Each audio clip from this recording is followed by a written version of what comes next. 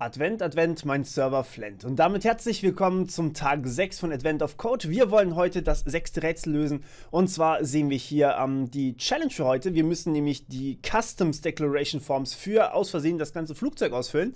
Ja, das bedeutet im Endeffekt, wir müssen den Leuten helfen, wenn sie, also weil sie eine Sprachbarriere oder sowas haben, das stand hier irgendwo.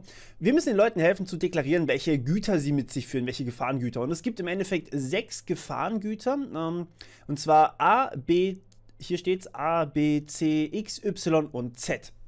Und das muss allerdings jeder in einer Gruppe beantworten. Eine Gruppe kann aus mehreren Personen bestehen, logischerweise. Das bedeutet, wir haben hier zum Beispiel in der ersten Gruppe nur eine Person, die sagt, sie hat Gefahrengut A, B, C. In der zweiten Gruppe haben wir drei Personen, weil es drei Zeilen sind. Einmal Person 1, die sagt, sie hat Gefahrengut A, Person 2 hat Gefahrengut B und Person 3 hat Gefahrengut C, was aber genauso zählt, als hätte jetzt eine Person A, B, C dabei, also quasi als drei.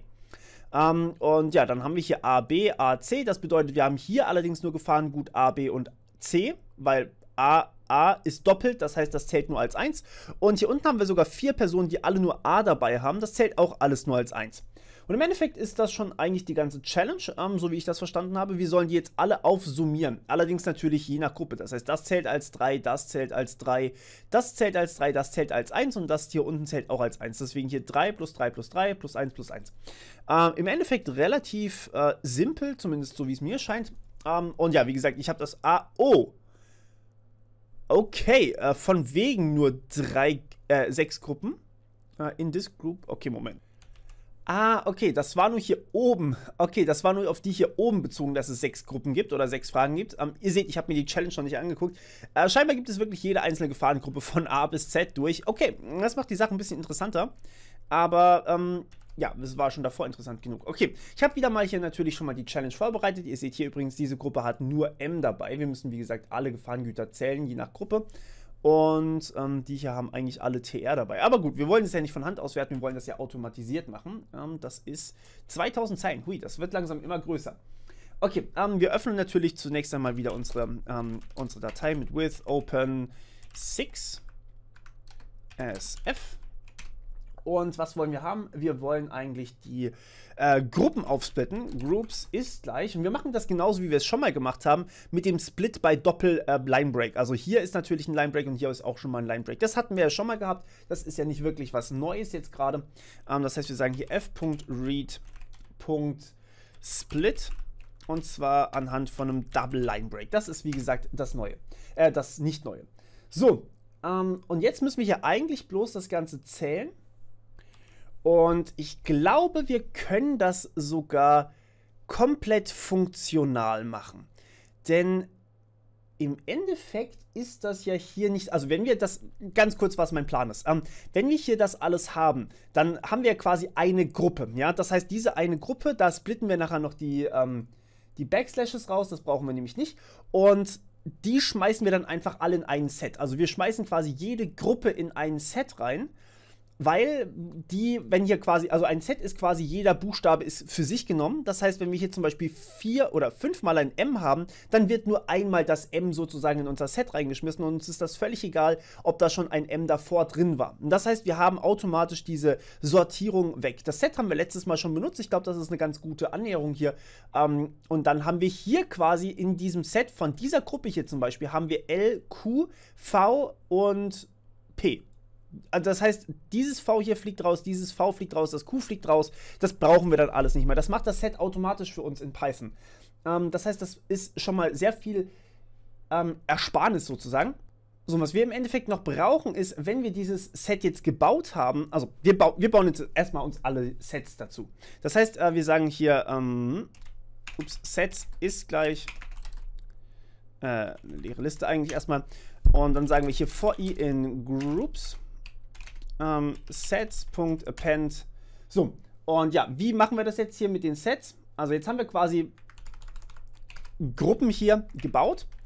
Und ähm, also quasi jede einzelne Gruppe, weil wir hier ja schon mal an Backslash n, Backslash n gesplittet haben. Und was wir jetzt machen ist, wir wollen hier natürlich ähm, erstmal ähm, alle diese Gruppen in ein Set umwandeln. Das bedeutet, wir sagen, wir mappen jetzt mal wir machen jetzt mal hier so eine, so eine Art One-Liner, wobei wir natürlich hier sehr, sehr viel haben. Also ja, es ist nicht ganz ein One-Liner, aber okay. Ähm, wir wollen jede einzelne dieser Gruppen in Sets umwandeln. Das bedeutet aber auch, wir haben ja hier schon diese Gruppe und wir müssen die irgendwie alle vereinen in ein Set. Das heißt, wir, ähm, ja, wir haben ja hier diese neue Zeile-Dinge. Also wir müssen das in, in dieses Set eintragen, wir müssen das in Set eintragen und so weiter und so fort. Ja? Und ähm, deswegen packen wir jetzt jeden einzelnen Buchstaben in, diese, äh, in dieses Set rein. Das heißt, wir sagen hier, ähm, wir wollen die Group nochmal aufsplitten nach neue Zeile. Okay? Das bedeutet, jetzt haben wir hier quasi LQ, dann äh, im nächsten Durchlauf haben wir V, dann haben wir nochmal V, VQ, P. Ja? Das ist jetzt hier das, was wir bei äh, Group.split bekommen. Und das wollen wir jetzt sozusagen jeweils in ein Set machen. Also wir bauen uns jetzt gerade hier für jede einzelne Zeile in der Gruppe ein Set. Also LQ ist ein Set, V wird ein eigenes Set, nochmal V wird ein eigenes Set. Das ist natürlich nicht das, was wir wollen. Aber jetzt haben wir hier im Endeffekt so viele äh, Sets, wie wir ähm, Passagiere haben. So, und jetzt müssen wir natürlich noch die Gruppen bauen. Das heißt, wir müssen die Sets miteinander verknüpfen. Und das machen wir wiederum über ähm, eine Funktion, die wir ähm, auch wieder ähm, draufschreiben sozusagen. Und zwar ähm, set.union. Set.union ist eine Funktion, ähm, die werden wir noch anders benutzen. Wir werden das hier sowieso anders machen, glaube ich. Ich glaube, das ist nochmal cooler machbar. Ähm, Set.union ist eine Funktion, die wir ähm, die macht im Endeffekt aus mehreren Sets, was wir ja hier über dieses Map bekommen. Wir bekommen ja hier in dem Fall gerade 1, 2, 3, 4, 5 Sets bei raus. Und wenn wir die jetzt alle miteinander vereinigen, dann ist das ein Union. Das bedeutet, wir machen aus fünf Sets ein Set. Und dann ist das genau das, was wir am Ende haben. Wir haben ein Set für jedes einzelne Ding. Ähm, ich glaube, wir müssten hier tatsächlich eigentlich kein separates Set bauen für jede einzelne Gruppe, sondern wir könnten einfach das Ganze in diese Gruppen eintragen. Aber ich glaube, das ist so fast noch cooler machbar. Und zwar, wenn wir jetzt nämlich hier dieses Union auf alle diese Sets ausführen, ähm, Sekunde, ich muss mal kurz gucken, wie das aussieht am Ende. Ähm, Union, äh, Union Set ist gleich. So. Und dann wollen wir uns das mal kurz ausgeben hier. Mal gucken, ob das überhaupt so funktioniert, wie ich mir das vorstelle.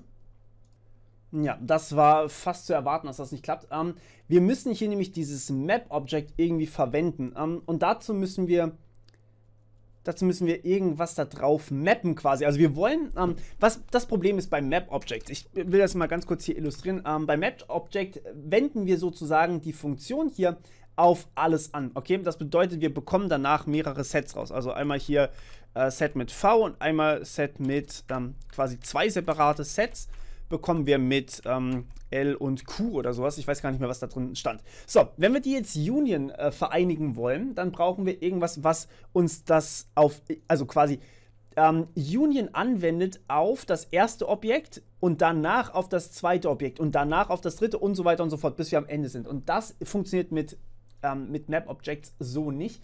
Ich glaube, wir brauchen da Reduce, wenn ich mich richtig erinnere. Normalerweise kenne ich diese Funktion als Fold. Ihr kennt das vielleicht auch aus Haskell oder sowas. Als Fold, ähm, Fold L oder Fold R, in dem Fall ist es egal. Ähm, was im Endeffekt eine Funktion anwendet auf eine Liste und danach nur noch ein Element der Liste bei rauskommt. Äh, das ist sehr funktionale Programmierung, ähm, aber in Python heißt das, soweit ich weiß, nicht Fold, sondern Reduce. Ich habe das aber schon ewig nicht mehr benutzt. Ähm, das heißt, bitte ver verzeiht mir, wenn ich hier heie, wenn ich mich erstens so häufig vertippe und zweitens ähm, hier vielleicht die, den falschen Ansatz gerade wähle. Also from functools import reduce. Jetzt müssen wir hier dieses set.union drauf reduzieren. Äh, redu reduce, hallo? Was ist los mit dir? So, ähm, wenn das jetzt funktioniert, dann bin ich sehr, sehr glücklich. Oh mein Gott, das hat wirklich funktioniert. First try, das ist nice. Okay, das sieht eigentlich richtig aus. Also sortiert sind die Dinger natürlich nicht, ist klar. Ähm, aber die müssen ja auch nicht sortiert sein. Wir müssen ja im Endeffekt nur zählen, wie viele Elemente da wirklich drin sind. Das bedeutet, was wir jetzt hier haben, ist im Endeffekt wirklich Union-Sets, also vereinigte Sets von diesen ganzen Groups. Ähm, das heißt, wir haben jetzt hier im Endeffekt das Ding und wir brauchen das hier nicht mal anhängen. Wir können hier einfach tatsächlich den Counter direkt berechnen. Also Counter ist gleich 0 und ähm, wobei, wieso eigentlich nicht? Ach, wobei. Wisst ihr was? Ähm, wir machen das so und zwar sagen wir, Wir müssen jetzt natürlich die ähm, Count, Counter plus gleich, ähm, ja, und jetzt können wir einfach hier die Länge drauf packen. Länge auf, ach so, nein, halt, stopp. Wir haben ja, wobei doch, das sollte funktionieren. Ähm, und dann geben wir Print Counter aus. Und am Ende, ach so, nee, halt, das machen wir am Ende. So, 6310. Macht das Sinn? Sanity Check. Ähm, wir haben, was habe ich gesagt? 2000 Zeilen. Ich weiß aber nicht, wie viele Gruppen wir haben. Ähm, gehen wir mal kurz die Länge von den Gruppen aus. Groups. Wie viele Gruppen haben wir? Ähm, wir haben 456 Gruppen und wir haben bis zu 26 Gefahrengüter. Okay, dann macht, dann macht das schon einigermaßen Sinn, was wir hier als Ergebnis rausbekommen haben. 6310. Probieren wir das doch einfach mal aus. Vielleicht habe ich mich auch einfach verrechnet. So, 6310. Das war richtig nice. Okay, sehr cool. Um, part 2. As you finish the last group's customs declaration, you notice that you misread one word in the instructions. Natürlich fällt uns das erst am Ende auf. You don't need to identify um, you need to identify the questions to which everyone answered yes. Das ist ungünstig, weil das schmeißt unser komplettes. Ah, das bedeutet, ähm, wenn quasi, also in dieser Gruppe ist dann exakt 0. Ja, hier steht es auch 0. Da ist, weil nur eine Person in der Gruppe ist, ähm, ist jeder Okay, okay, okay. Das bedeutet aber, hier ist zum Beispiel eine 1. Hier ist auch eine 1, weil wir zu einem Gefahren gut, äh, gut 1 gesagt haben. Hier ist nur eine Person, also auch 1. Okay. Ähm, können wir das irgendwie trickreich und clever lösen? Wir haben aktuell die ganzen Gruppen miteinander vereinigt. Also wir haben hier quasi gesagt, wir wollen die ganzen Gruppen ähm, wenn der TR geantwortet hat und der RT geantwortet hat, dann fällt RT quasi weg. Können wir das irgendwie, ja, das können wir machen. Und zwar, wir müssen hier einfach nicht Union benutzen, sondern Intersection. Intersection. Weil Intersection macht genau das Gegenteil von Union. Im Endeffekt ist es wie bei, bei Photoshop, falls ihr damit schon mal gearbeitet habt. Ähm, wenn ihr was zur Auswahl hinzufügen wollt, ja, ähm, also quasi nehmen wir an, wir haben A und wir haben B in unserem Set drin. Dann macht Union also, man schreibt das normalerweise als großes U.